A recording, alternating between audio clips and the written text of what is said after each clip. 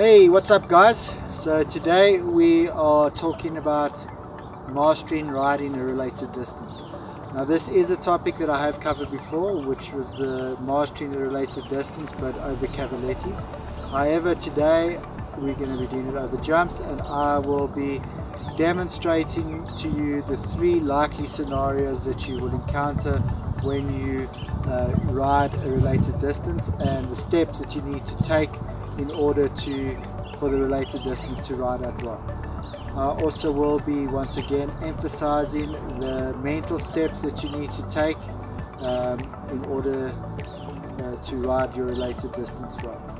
So the mental steps are critically important and it is something that you need to do habitually and not only when you remember. So I hope you enjoy the video and we'll see you in the ring baby.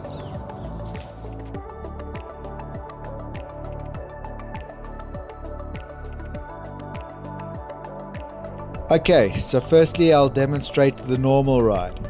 And by that I mean you have a good ride into the related distance. So you don't come in too fast and you don't come in too slow. This means that you'll land the standard two paces from the first jump and all your horse's strides are the standard four paces. So you don't have to do much, you can just travel through the related distance. This is what you aim for and through practice you'll discover what is the perfect ride for your horse. But this is show jumping, so it won't always work out like that.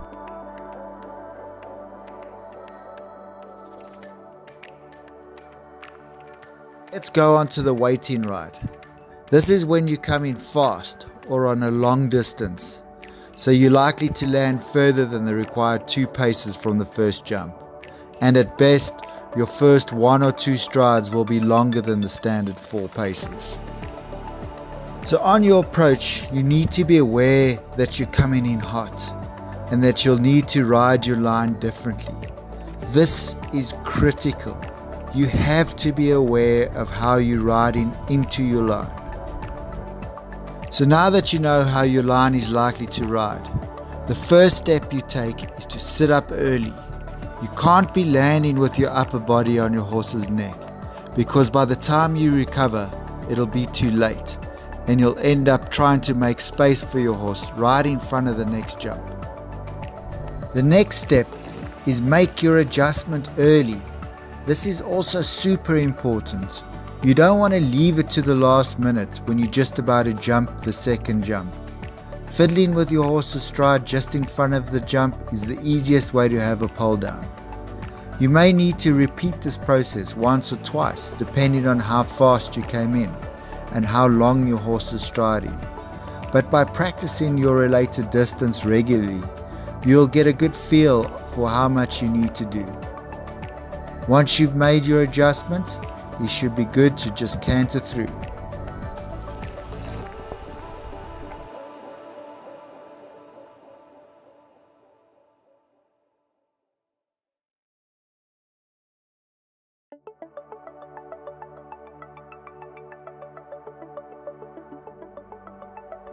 Okay, so next is the coming in slowly ride. We all get a bit pulley from time to time, but it doesn't have to be the end of the world if you're aware of it, you know what needs to be done, and you react quickly. So at this stage, you know that you're coming in a bit too quietly, and you're ready to react. So you stay in a light seat, keep your arm nice and soft, and get your leg on. You need to make up the distance you lost due to your slow riding, and you want to get it done as soon as possible.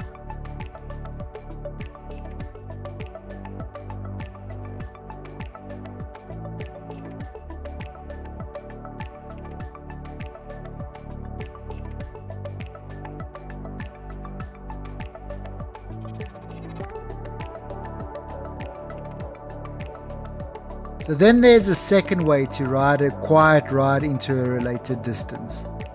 And this one is to add a stride.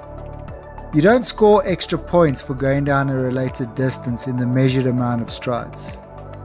Adding a stride is often the best choice if the jumps are below a meter, or if you're riding a short striding horse, Or if you're riding a hot horse, where sending it forward on a long stride can sometimes make it a bit too fizzy.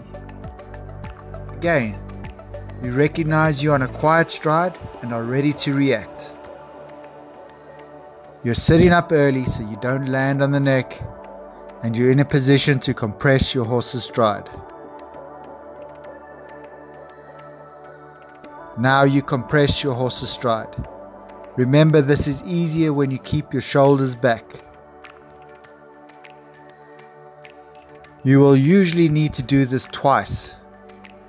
And then once you've created the space you need, you should be able to canter quietly down to the next jump, but on one extra stride. Okay guys, so those are the likely scenarios you'll encounter when riding a related distance. Now you need to go out and practice them. And again, remember to recognize what type of approach you're having and to make any adjustments you may need as early as possible.